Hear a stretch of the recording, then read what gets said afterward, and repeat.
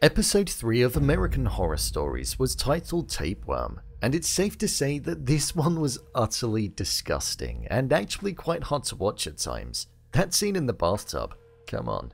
Focusing on Vivian with her desire to fulfill her dream of becoming a model and getting on the cover of Vogue magazine, we saw her demise unfold in front of our very eyes. So with that, let's break down and explain the episode. So let's get into it. Here is American Horror Stories Season 3 Episode 3 Tapeworm Ending Explained. Just to let you know, this video will contain spoilers. So this episode was centered around Vivian's desire to get on the cover of Vogue for reasons that didn't only fulfill her ambition of becoming a professional model, but more so the highlighting of the fact that people with health conditions like herself, scoliosis, could still achieve their dreams and they didn't need to be held back because of them.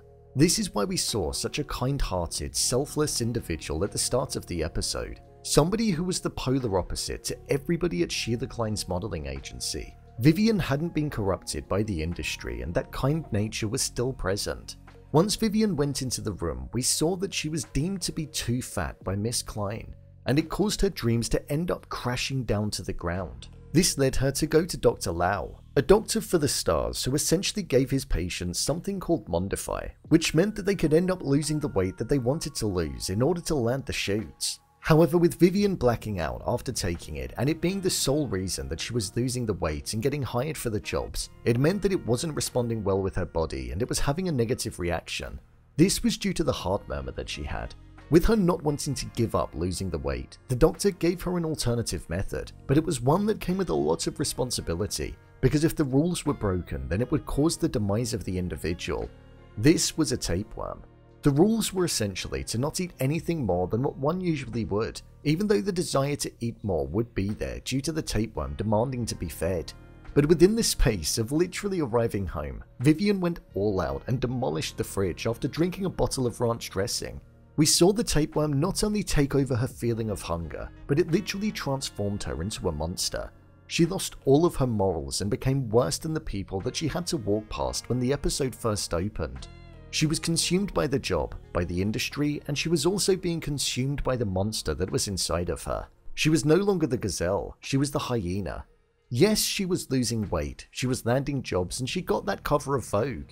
But the message that she wanted to spread and the type of person that she wanted to be whilst at the top was extremely different when she got there. There wasn't an ounce of who she was before when she landed that dream job. With her starting to lose so much weight to the point where she was losing jobs because she was so skinny, and also her relationships being compromised due to the worm bringing that jealousy and desire to be skinnier and prettier than everybody else around her, she seeked to find a way to get it out of her, because Vivian hadn't followed the rules and consumed so much more food than what she originally would have done, it meant that the worm had got extremely large in size, and surgery wouldn't be possible due to the fact that it was all meshed around her. Plus, she couldn't be given a powerful medication because anything that was strong enough to kill the worm would probably cause Vivian to succumb to it too. So instead, she consumed something which would irritate the worm and cause it to look to leave at the nearest exit. And I think you know where that is. This was a scene that was disgusting to watch and it felt horrific. As Vivian got in the bathtub, we saw the worm come out and it tried to attack her, but she managed to stop it. However, when her guard was down, the worm got up and struck her in the eye, as she wouldn't let the worm go back inside of her, ultimately rendering her dead.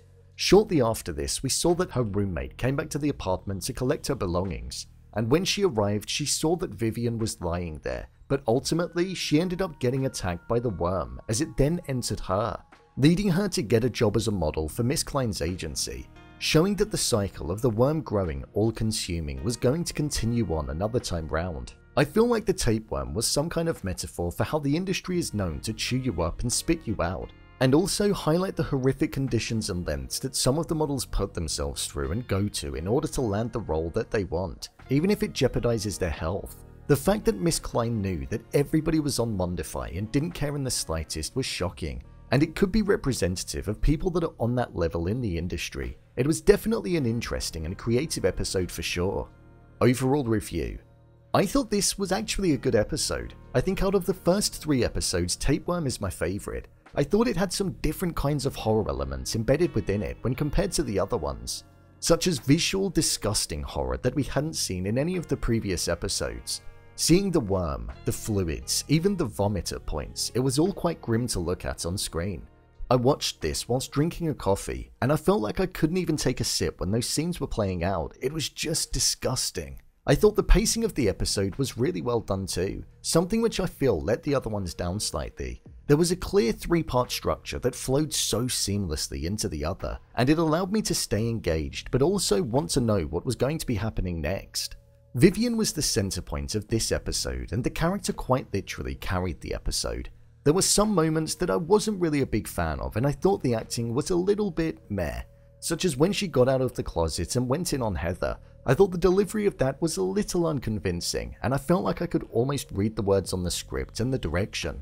So it did make me cringe a little bit, but other than that, her range of emotions were very strong, and after the worm had started consuming her, it really did feel like a split personality, so it was almost like she was playing two completely different characters, so I commend the actor for that. I thought this one definitely had a deeper meaning behind it, and it was focused on the modeling industry and what individuals go through in order to achieve their dreams, even if it can lead them astray, so that was clear to see. And it was a key takeaway. I thought seeing Vivian lose sight of herself and not become the role model that she always wanted to be was something which was great to include. She was all consumed by the monster until she ultimately became that, and she was something far worse than what she could have ever imagined. So I liked the direction of the story and the character, with only one episode to go in this season, I'm intrigued to see what the final episode is going to be like. I've heard a lot of bad things about it before going into it, and I've heard that it's the worst, but I'm not going to let that cloud my judgment. I'm feeling this one is probably going to be my favourite out of the four, but I guess we'll see after the final episode. That video will be coming very soon. I'll leave you with my current ranking. First place is Tapeworm, second is Bestie, and in last place it's Daphne. It was a shabby attempt at a Black Mirror episode, not American Horror Story, and that's all I'll say on that one. For more, check out the previous video. So, there you have it. American Horror Stories Season 3 Episode 3 Tapeworm Ending Explained. If you want to see more videos such as Endings Explained, theories and predictions and character breakdowns, then click on the I button. Or alternatively, you can head over to my channel where you'll find them all. I've also broken down all of the previous episodes in Season 3, and also every episode from American Horror Story Delicate, so if you want that, it's over there too. And finally, if you'd like to see what I rate the latest movies that don't quite make the cut to getting a dedicated video, then head over to my Letterboxd profile. It's where I rate the latest releases in real time. What did you think of this episode? Leave a comment down below, and don't forget to subscribe. I'll see you next time.